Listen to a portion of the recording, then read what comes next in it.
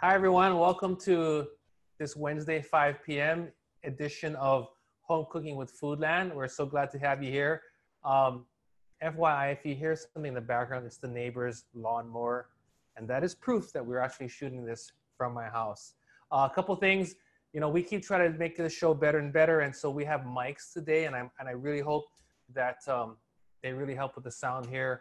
Um, if you are having issues with hearing, please shoot us a, a note in the Q&A feature here that so that we can try to address it and make sure that it's better for you folks.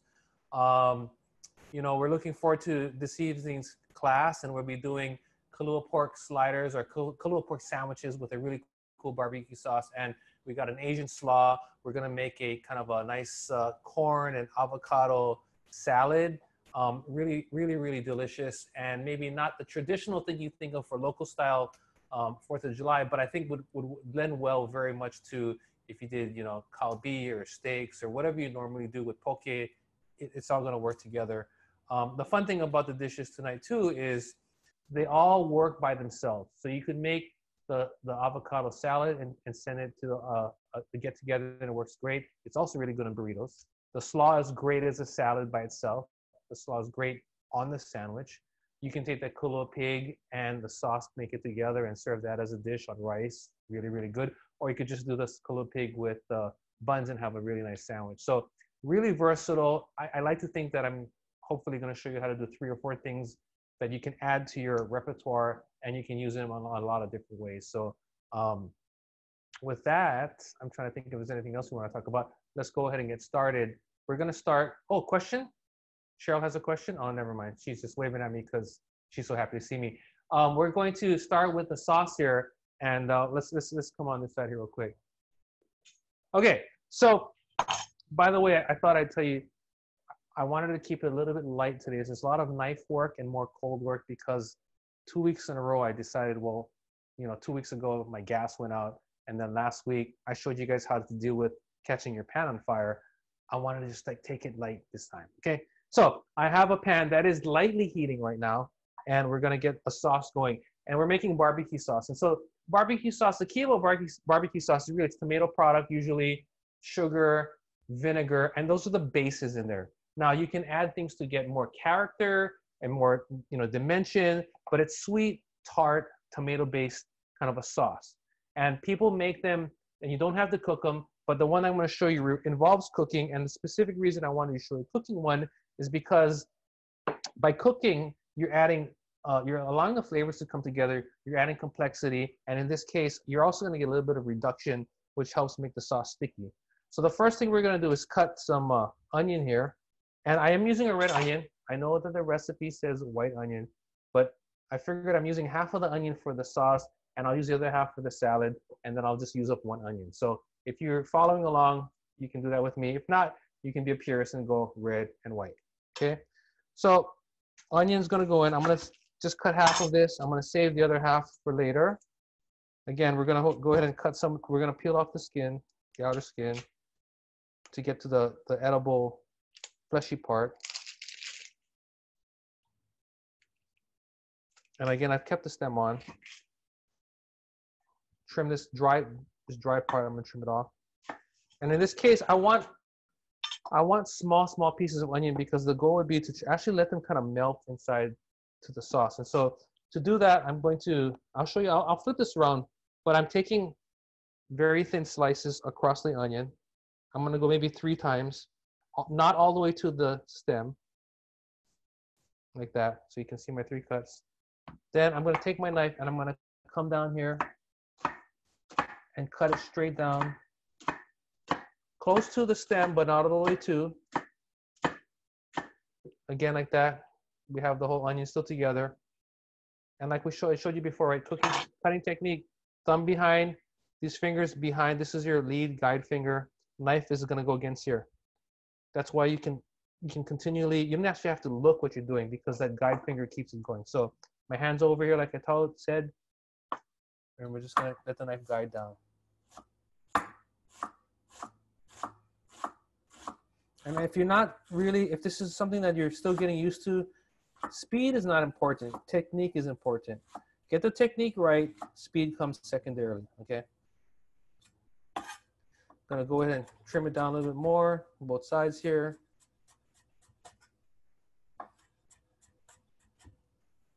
We'll cut a little bit more here so I can try to up all of the onion here. And then we just have the stem that's left. So here's our, our diced onion. I've got some garlic here. I'm gonna cut the stems off. These are cloves that were pre-peeled.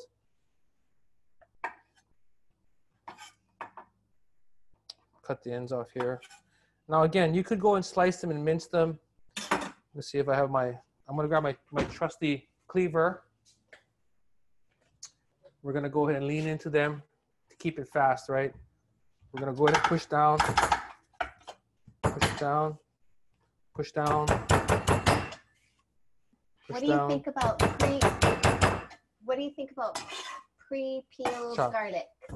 I love pre-peeled garlic. I mean, you know, when when you start cooking and you cook a lot, and you're, you're always having to make decisions about time, money, and convenience. And so, you know, I think pre-peeled garlic is great. Is it going to be as good as taking a garlic clove and then peeling it and chopping it? No. But is the trade-off worth it? yes. Um, you're still gonna get great flavor. What I do though is when I buy the pre-peeled garlic cloves, I open the package completely, and then I put it in a container with a paper towel. And what that does is it really helps keep the um, the glow the cloves dry. If they're all sitting in moisture together, gradually what might happen is the um, the, the, the, the clothes will start to like get wet and they might start to pickle in there. So I keep them dry, I keep rolling them around, and I keep that paper towel in there to help absorb the moisture, which keeps them dry. You hear that, don't you? But we'll pretend that we don't hear anything, okay? All okay, right, what's so, the difference between red and yellow onion while you're moving Yeah, the around? difference between red and yellow onion is um, they're just they're varietal differences. A red onion is going to be a little bit sweeter than a just a regular Spanish onion. Um, but not quite as sweet as like a Vidalia or a Maui onion. And they add it adds beautiful color. So like for for example, I could take a red onion here. Um, I'm trying to make sure that I don't have the same thing like last week happened. If I took a red onion here and I put vinegar in it, it would actually come a really bright red. So there there's some flavor differences, but there's also visual differences, and those matter a lot in cooking for us. Okay, so I've got my um, my pan that's been preheating and I'm adding my, I'm adding grapeseed oil. We're adding it to the bottom and you can see it's nicely coated right now. And you see, see that? I, you see the sizzling, which is great. I'm gonna go ahead and add in the garlic. And you hear that sound? Remember, cooking is visual, it's smell, and it's sound. And that sizzling is what I'm looking and I really wanna hear. We'll add the onions now.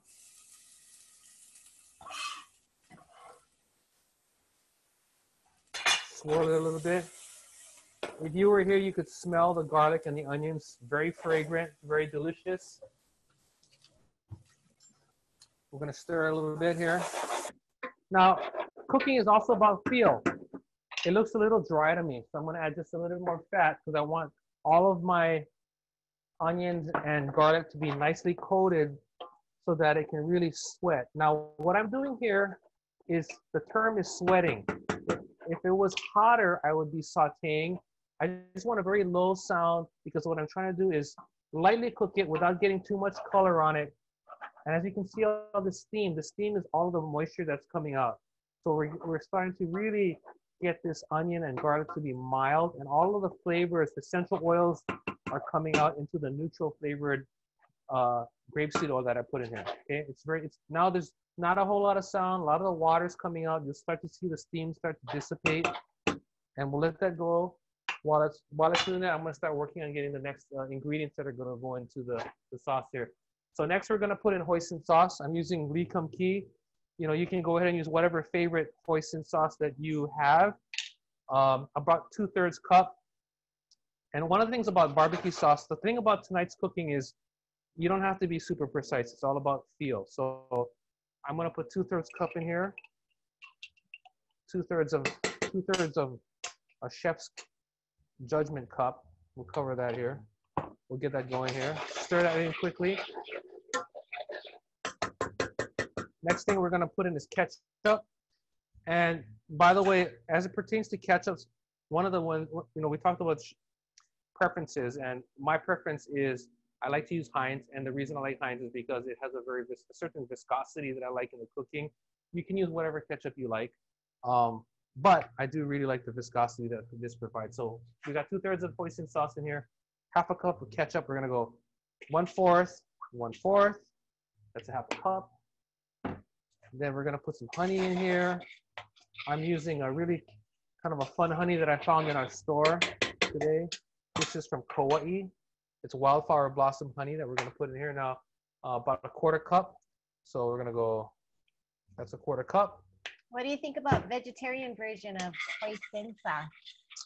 You know, that's a good. I don't even know. I don't even know if they're vegetarian. But I think this is vegetarian, isn't it? See what's in here. Soybean paste, potato powder, caramel, modified cornstarch. I believe this is vegetarian. There's no fish or anything in here. At least what I can tell in here. So I think you're good if you just use this as is. Okay. Um, so we've got that in there. Honey's in there. We're gonna put some shoyu, two tablespoons.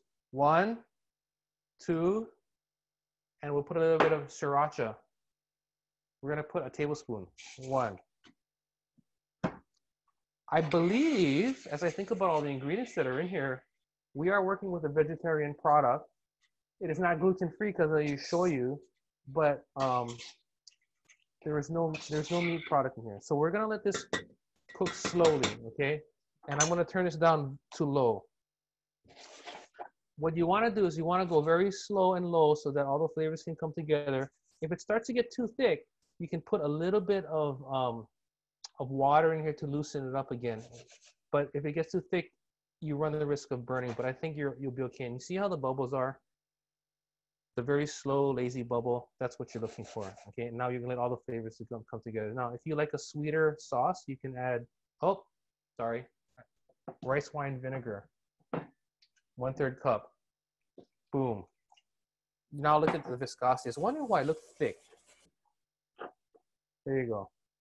This looks good now. Rice wine vinegar. So you're gonna have acidity from the vinegar, sweetness from the hoisin and the honey, and some of it from the ketchup. You got a tomato in there, a little spice from the um, sriracha, and then you also have that umami from the shoyu. Um, now we're gonna let this do its thing. We let it kind of like cook slowly. I want to show you here real quickly.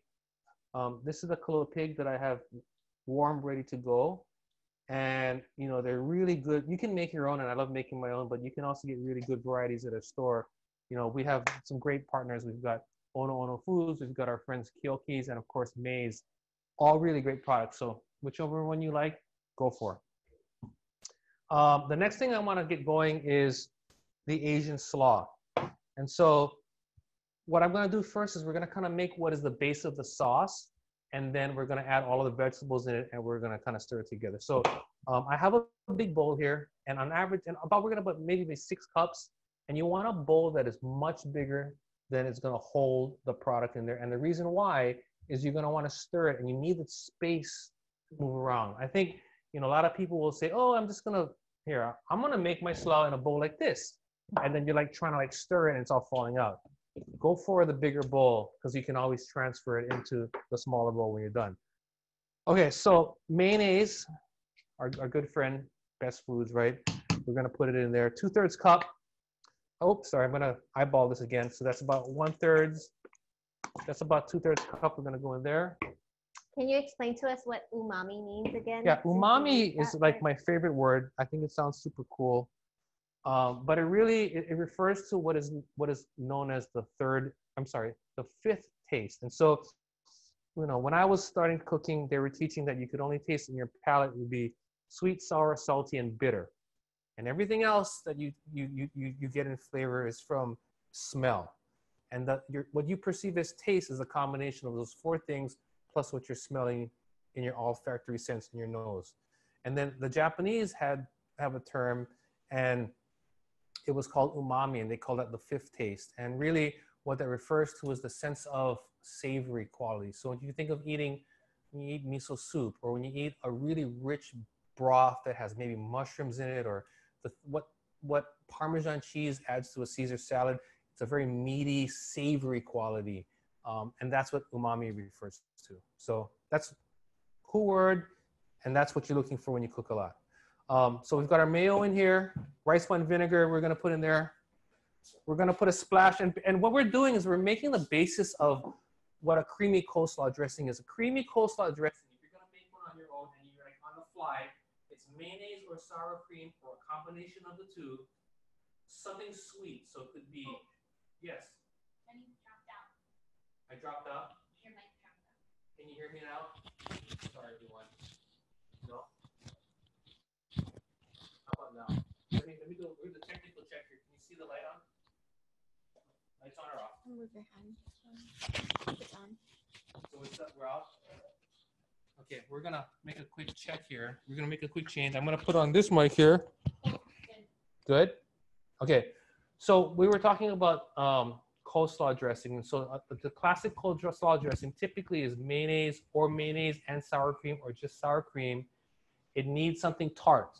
So vinegar, pineapple juice, lemon juice, lime juice, and then sweet. So that sweetness would be come from sugar, honey, agave. If you have those three things and some salt and pepper, that's a creamy dressing base that you have. And then you can add cabbage, whatever you want to make the slaw. So in this case, we've got our mayonnaise in here. We're gonna put uh, rice wine vinegar, which is a nice mild vinegar, not harsh, right? A little bit of sugar.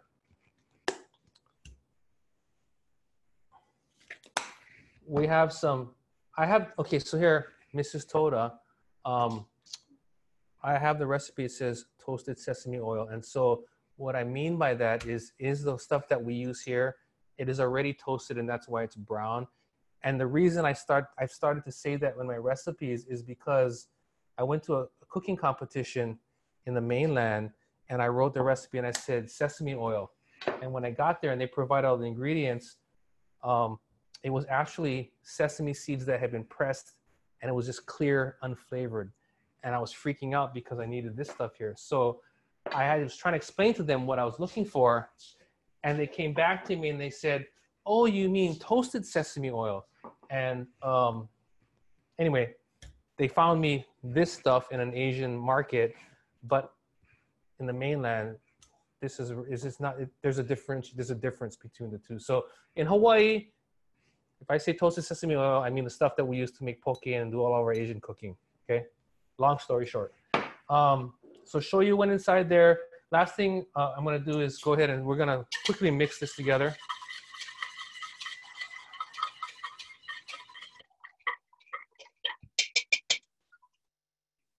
And we'll let that sit. Now we're gonna start adding all of our vegetables, but I'm gonna check our, our sauce to make sure it's okay real quick. You wanna come take a look at this here? See how it's bubbling? You see the color got darker too? Really looking really good. It's really coming together nicely. So we'll just let it do its thing. It's looking good. Um, and we'll come back over here. All right, so we're gonna add some ginger now. Um, we're going to add a tablespoon roughly. So I showed you this before, but for, for those of you that maybe weren't here in that last that episode I did this, we're gonna go ahead and peel it with a spoon because it really gets the skin off. But then it doesn't, you don't have all that waste, right? So you have that skin there. smells really good. The smell of the ginger and the hoisin barbecue sauce in here and the toasted sesame seed oil is smelling really, really nice.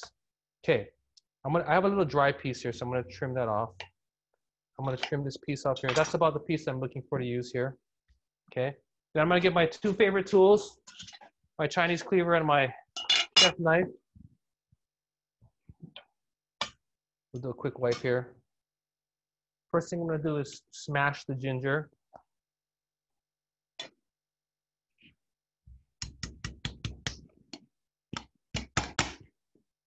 And then I'm gonna go in here. You can use the the cleaver or you can use your knife here. But now that I see I have all the fibers kind of like flattened out, what I'm gonna do is if I go, now that I'm going this way, I'm cutting against all of those fibers. Now, if I was gonna make soup or long rice, I would probably be okay with that. But because I'm gonna be making this for a slaw that people are gonna be eating this raw, I really wanna try to make it finer.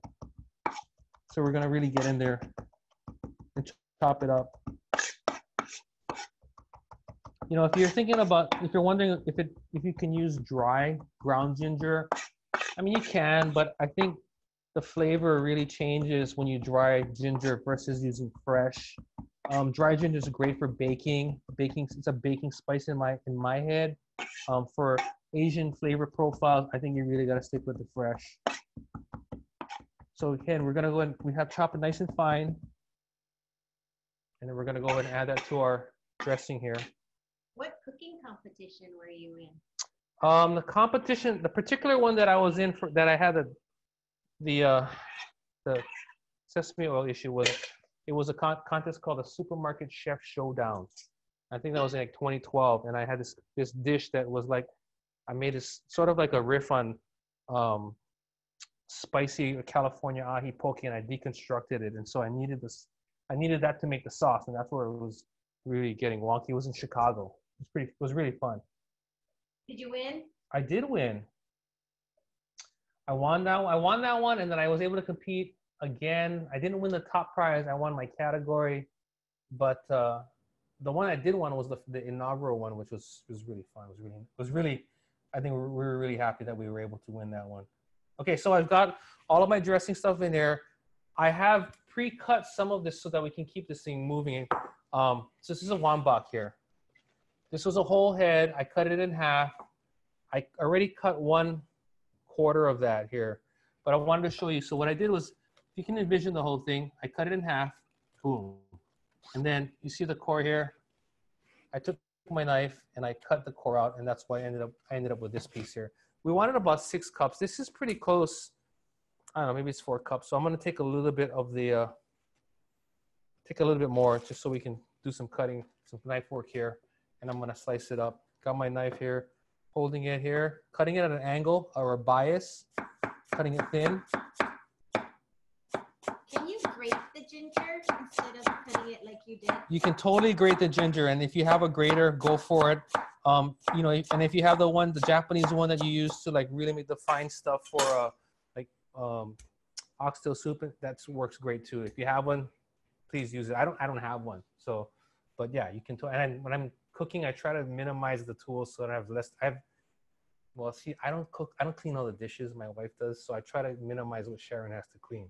So, um, we've got all that going here. I'm gonna add this in now.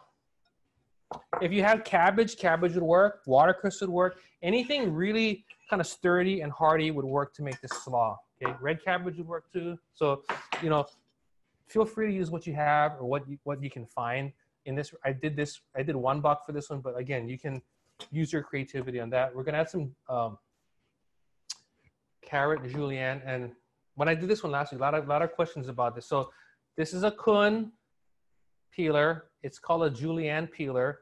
There are many brands out there. You can get them. It makes julienning easy. Um, it's super. How, how do you spell that? Which one? The the brand? K U H N R I K O N. Kuhn Rikon. It's made in Switzerland.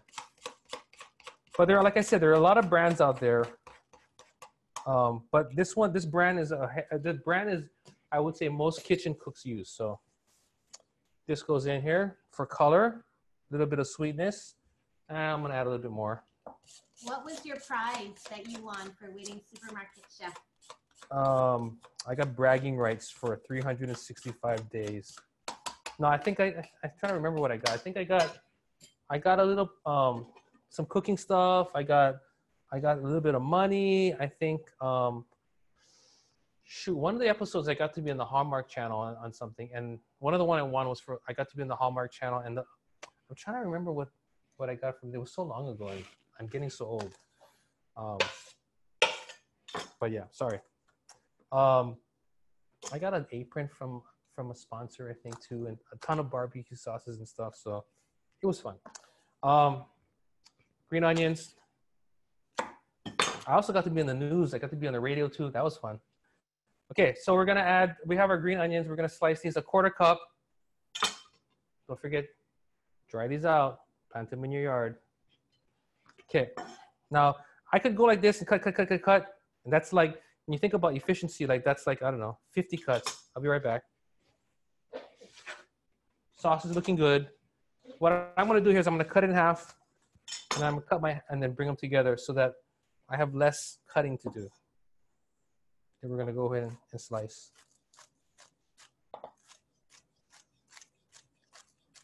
But cooking competitions are, are really fun. I mean, you know, they're stressful, but I think, you know, you get a chance to express your creativity and feel like you're under pressure and, you know, put yourself out there. The cool part was just getting it to travel to Chicago to the McCormick Center. That was nice. The green onions are going to go in here. And remember, this whole dish so far is, is by feel. I'm not measuring anything, okay? If you feel like you need to measure, please, please do so. Don't hesitate to do that. And as you get more comfortable with cooking, you can eyeball stuff. I don't, like if I was baking, I would measure. But this kind of cooking, you can use, you can go by feel. So we'll add some uh, sesame seeds here. And then we're gonna mix it. Now, one thing about a, a slaw, right, is once you mix your slaw and you make one, the, the sugar and the salt that's in here is going to technically start to draw the moisture out of the vegetables. And so one thing you need to know is if you like a very crisp slaw, then you're really gonna want to make it as close to when everyone's gonna eat it as possible. Now, if you like it to be a little bit more wet, then you can absolutely coat it earlier. Let it sit in the refrigerator. And again, like when you're cooking, right? Cooking is about it's about judgment. And so it's nicely coated. I think it needs a little bit of my, my friend Best Foods here. So I'm gonna put a little bit more in here. And because I'm putting a little bit more, right, I need to adjust. So I'm gonna put a little bit more rice wine vinegar. Just a splash. I feel like, um, you know, that it just needed a little bit more sheen and a little bit more coating. I'm also gonna put a little bit more sesame seeds in here because I think that's really what's gonna add flavor, texture, color. And if you really like onion, you know, you're welcome. You could totally put more green onions in here. If you wanted to, you could put cilantro. You know, one thing that I hadn't thought about that could work here too is if you took like Asian pear or pears and make a very fine julienne, you could add it in here. So you know, again, the, the cooking that I'm trying to show you are really good foundational things where, you know, when you start to, you start with this and then you think about the things that you like and you think about things that you enjoy. And then you continue to evolve the flavors that you're doing here. And then you start with a base. It's like having vanilla ice cream and then you add different sauces and you have different all new flavors. And so that's how you take maybe five dishes that you know how to make but then you can spring them on to make suddenly you're making like 50 or 100 different dishes. And that's kind of what we do a lot in in the restaurants.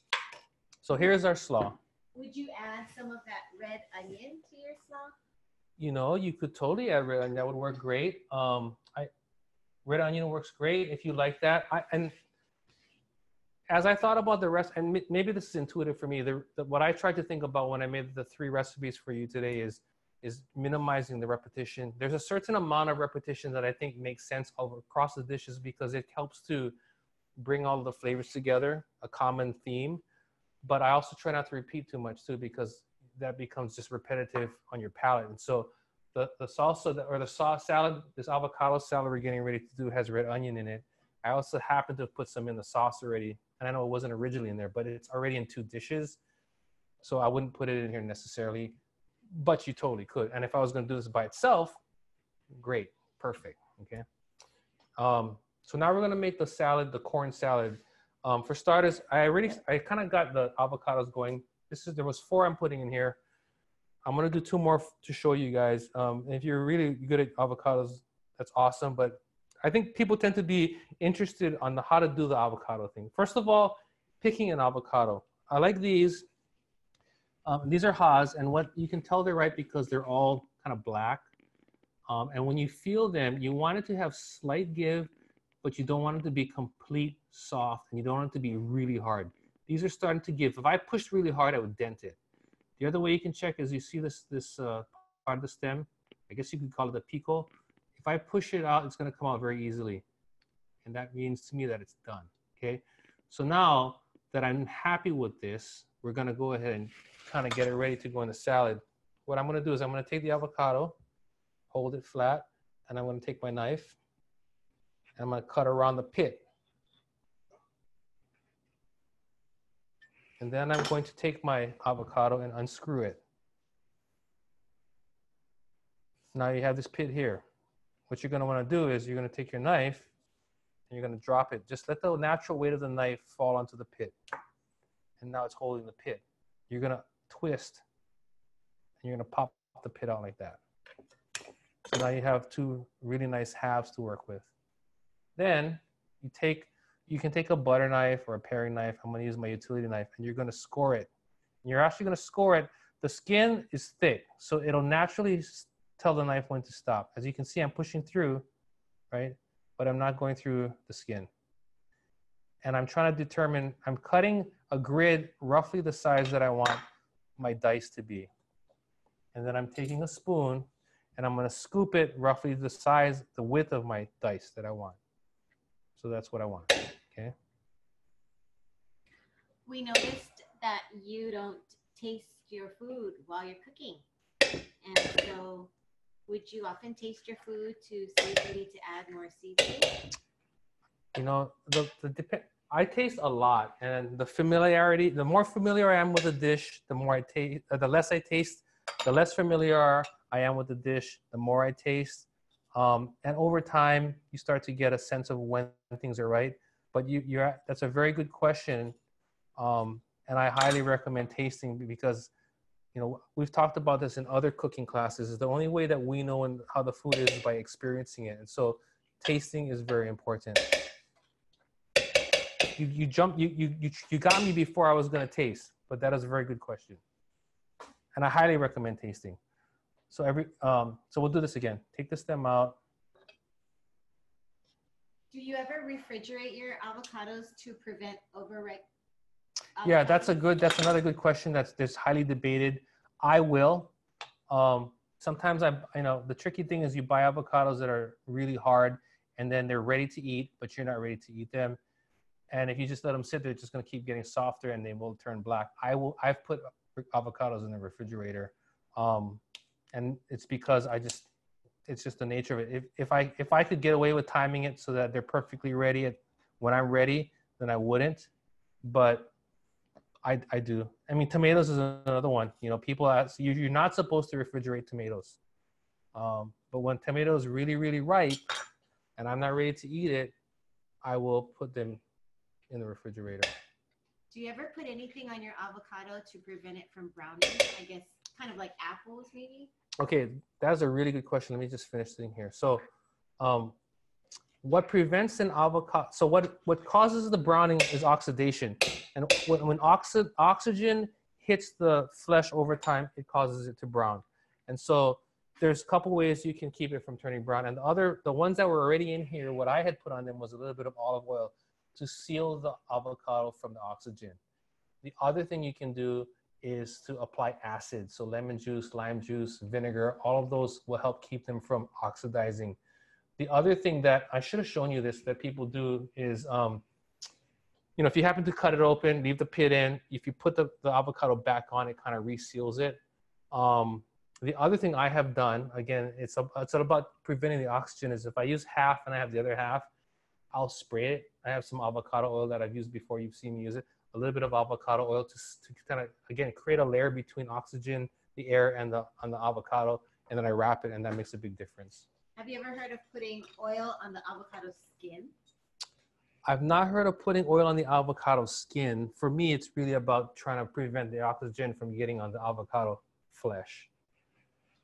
Um, okay, so let me do this. I'm gonna do this next round. Here's our tomato, and then we've shown you guys before. This is a vine ripe. Um, again, if you can afford it, I highly recommend working with the small, like whole farm tomatoes or vine ripe tomatoes because it's about flavor, right? Um, conventional tomatoes are great, you know, and they're they're great prices, but you're gonna get less flavor versus something like this, and that's why I'll use this. Is a this is a local vine ripe tomato, and you can see that it's much riper. This happens to be like juicier. Um, so I'm gonna go ahead and cut the core out real quick. What happens if you cut into an avocado and it's not quite ripe? Do you Good put it yeah. together? I've tried before, and sometimes you can get it to work to come soften, but most times once you cut into the avocado, it is what it is. And so you you really the key is make sure that when you're gonna cut into the avocado, it has that give. Then you're gonna be okay. Um, we're gonna go dice this. So I'm, I'm I'm gonna if I think about this size, I'm gonna cut it into fourths. So if I think about half and one third and half, half, half, right? So if you would envision that's a half there, I'm gonna go down here, down here, down here. And then we're gonna go think about this half here. I'm gonna I'm trying to keep a relative uniform dice, and I'm trying to keep relative size to my avocado as well.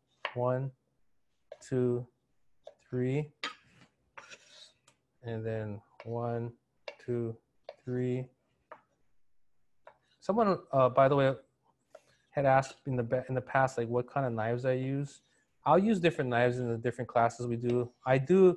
These are Shun knives that I use a lot, and they were a premium knife, and I really enjoy using them. As you can see, it's almost like um, you see that kind of like know, that grain here. These are hand hammered, and they're like made like samurai knives, and they're really sharp from Japan.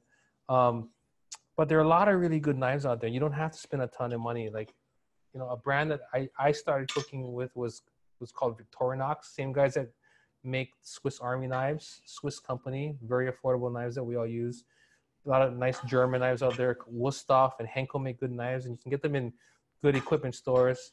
Russell Dexter makes a very affordable knife. Um, so there are a lot of good companies out there that make knives. Um, but I think when you start to cook a lot, then you start to like collect knives, and it's just fun to. They all feel a little bit different, so that's what we work with. Um, okay, so we've got avocado, we've got tomato here, and now we're gonna put the corn in here. This is fresh corn. I just quickly blanched it.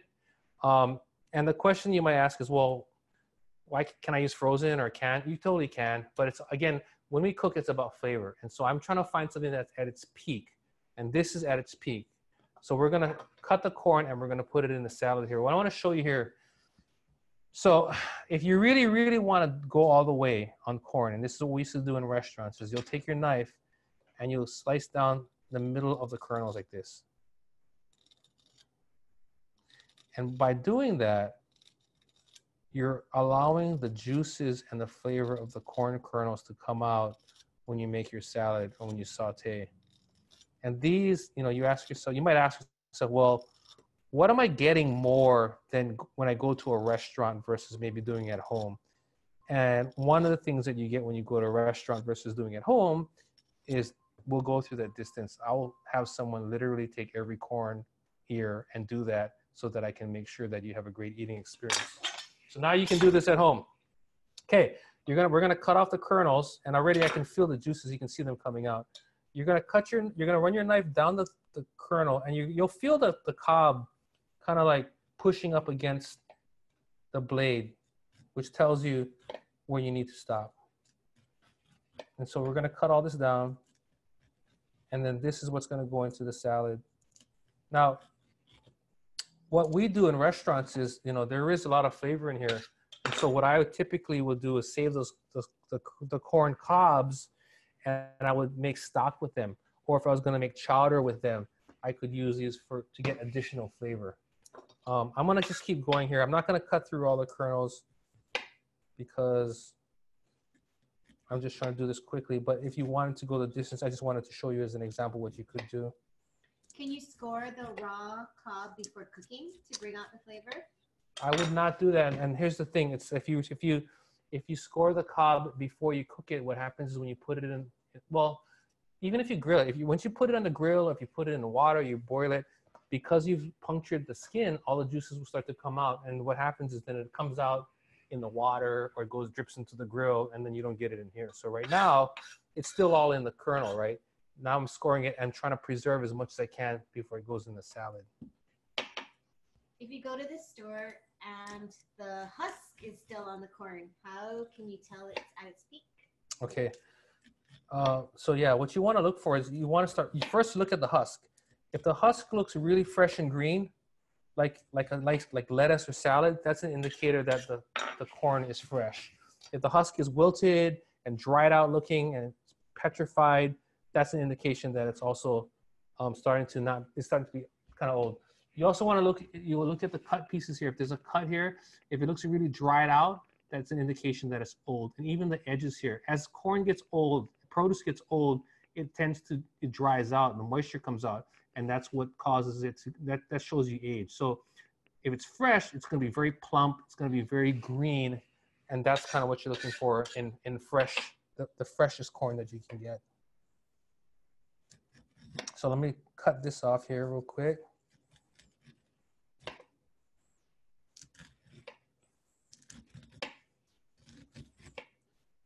We'll just trim those pieces here We'll get them in the salad. And then we're gonna add a few more flavoring flavoring touches to the salad and we'll have our slaw and we'll have the salad done. Our barbecue sauce is almost done. So we're actually very close to bringing the whole dish together. Um, as we're kind of like starting to get close to wrapping, are there, you know, if there are any other questions that you folks have, please, please go ahead and shoot them to us so we can get them all addressed um, in time. So we've got corn, we've got our avocado, tomato. I'm gonna add lime juice. And again, I'm rolling the lime because I really wanna soften it up, okay? It's very soft. You see that? I can really push it. So it's all this juice now is just in this little pouch. See how soft that is? Can you remind us again? You were cutting the corn right in the middle of each kernel, or were you cutting along the line? of the I was kernel? cutting it right down the in the middle of the kernel.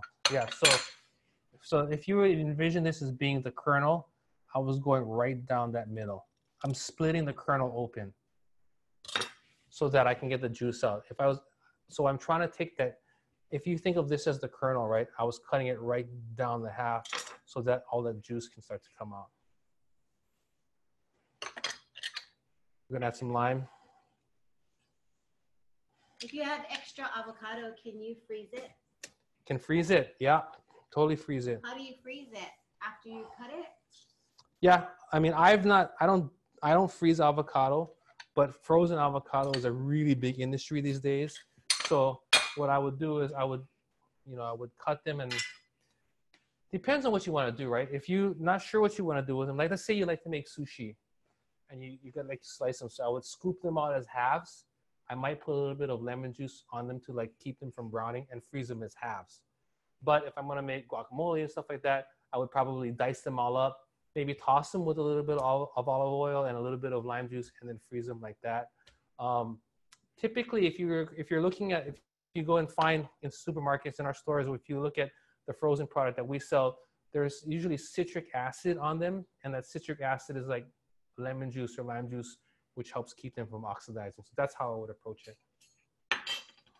Okay, so I've got our lime juice in here. We're gonna put some olive oil. Would you recommend a replacement if you don't like raw tomato?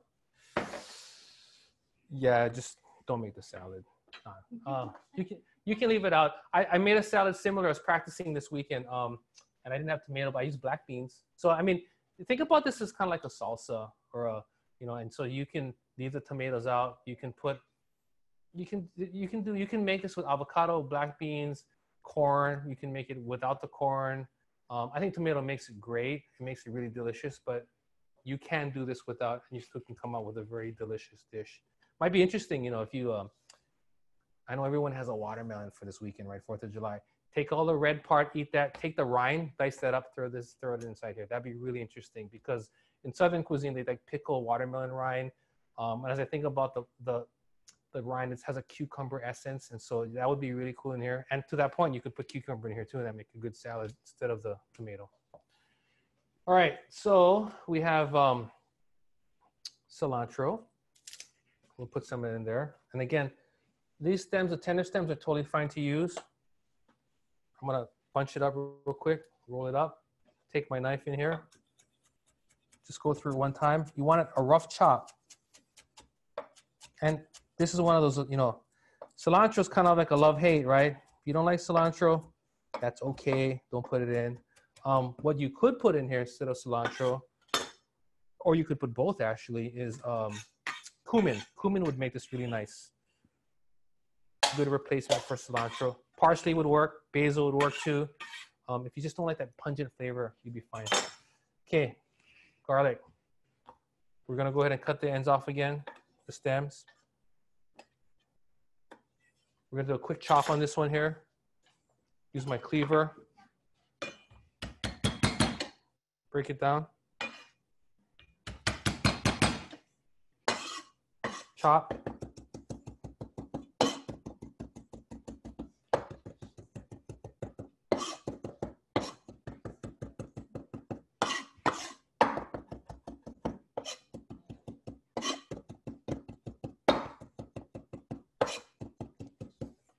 How long would this salad keep? Like if Yeah, salad actually both of these would actually last quite a while. This one here, um, if you're because you're adding the olive oil and you're adding the acid in here and you mix it together really well, you could get I don't know three four days on this really easily. So like make a big batch this week, uh, early in the week, be perfectly cl- fine throughout the weekend as long as you're keeping it sealed and you have good amount of acid and a good amount of of, of olive oil or fat on it to coat the, the dish. And of course, making sure that you're keeping it at the safe temperature, right? So making sure it's refrigerated or if it's in a cooler, it's, it's packed in ice. As long as you keep those things sacred, it'll last quite a while. So I'm gonna mix this and you don't wanna mash this all up. I mean, if you want to make sort of a guac style, you can, but one of the things that you wanna do when you're, when you're working with mixing these kinds of dishes is I work around the edge. And one thing I am going to put in here, which I did not put in here, is some salt and pepper. We're going to go ahead and season this.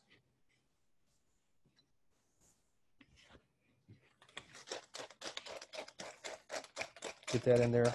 But it's really coming together nicely. You can smell the cilantro, Chinese parsley. You can smell the lime juice. I, I want a little bit more shine. I'm going to put a little bit of more olive oil in here. We're gonna go and kind of like mix this all together, get it all coming, get it all nice.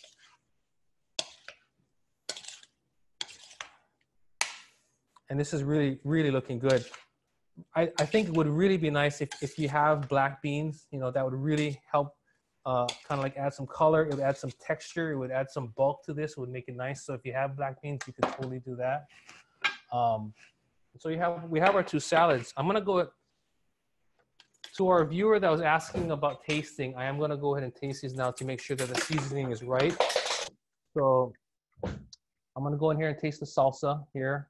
I'm looking for good acidity, lime juice, all the herbs. I'm making sure that there's a nice seasoning here. And it's really coming together nicely. The acidity is really nice. We'll go ahead and try the, um, the slaw here. And what I like about this is it's not thick. The, there's a light sweetness on there. You can taste the sesame seed. It's coming. It's really, really refreshing. And sometimes people, you know, when they're cooking, they put too much of the, the, the mayonnaise and it becomes very heavy. But this is bright. And when you're cooking, you want to balance between the creaminess and the bright acidity and just a hint of sweetness. So I think these are looking good. I'm gonna bring the other dishes to the front and then we're gonna plate one. And then uh, we'll, if there are any other last questions, we'll answer them and then we'll, we'll call it a day. So we're almost done. If someone is allergic to corn, what would be a good substitute? So if you're allergic to corn, one thing you could do is keep it out. Um, but when you think about the characteristics of corn and what corn adds to the dish, it's really adding um, it's adding sweetness, it's adding herbaceousness, it's adding some of that vegetal quality. So the kinds of things that I would would recommend substituting um, could be something like pineapple. So you could take pineapple and grill it or char it or roast it, which would add a nice kind of a bright sweetness to there. Um, you know, if you really want to get out there, peaches could be really, really cool.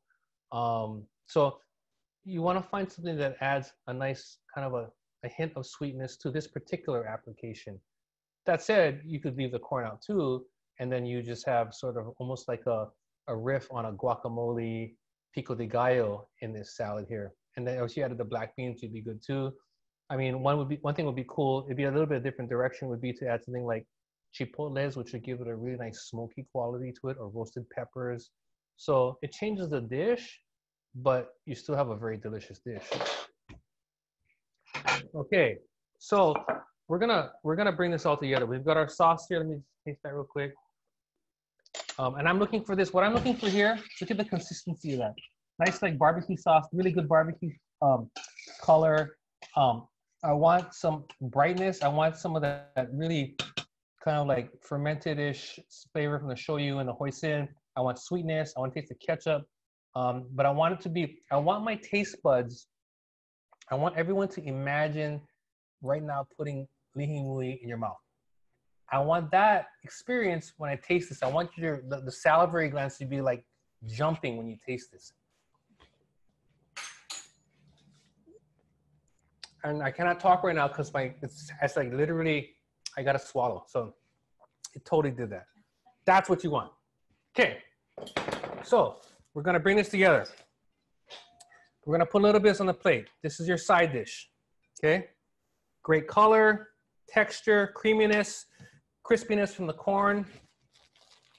And then we're gonna put, of course, we want, this is all local style, right? So we're gonna go some Hawaiian style, right? King's Hawaiian.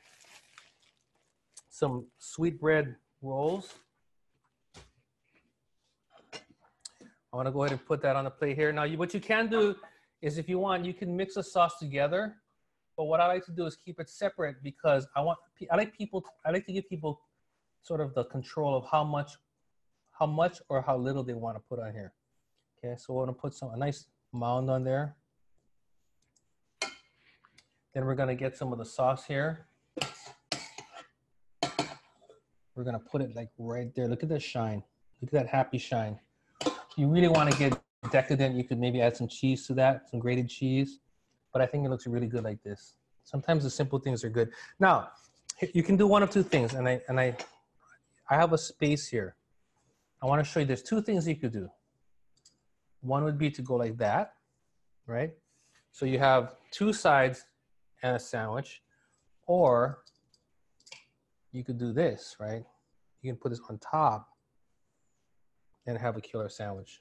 You can go one of two ways, but here you go. This is a really nice 4th of July, easy meal to put together. It's great to add to the grilling. You don't have to do the grilling and get all smoky. You can have someone else do that. You can bring this, you're adding this to the family style. If you're doing a small group, you know, you kind of like not want to get out here to the bigger crowds. Perfect thing to do with, you know, just the pod that you're hanging out with. Um, but again, you could take this by itself to a party. You could take this by itself to the party, take it with some tortilla chips, really, really delicious. Or you could just do this by itself too. So here are the dishes um, that we've done tonight. I hope you guys had fun. I hope you learned something. Um, any last questions that we want to answer? No? Well, uh, I hope you guys had fun. You know, next week we're trying to think about what we're going to do. We thought we'd, we, we'd want to go back to some, some real local style stuff. So I'm going to go look for some island fish. We'll do some fried local style fish. We're going to bust out um, some garlic salt. You know, we're going to go I'm gonna go throw back to the Harry Kojima from Let's Go Fishing. We'll do some fried fish, um, but then I'll show you guys how to make sort of a ginger scallion pesto that's good for the fish, but really is like something you could use for making like your own your own ginger chicken at home. So simple dishes, really fun, really great with rice, and we'll see you next week.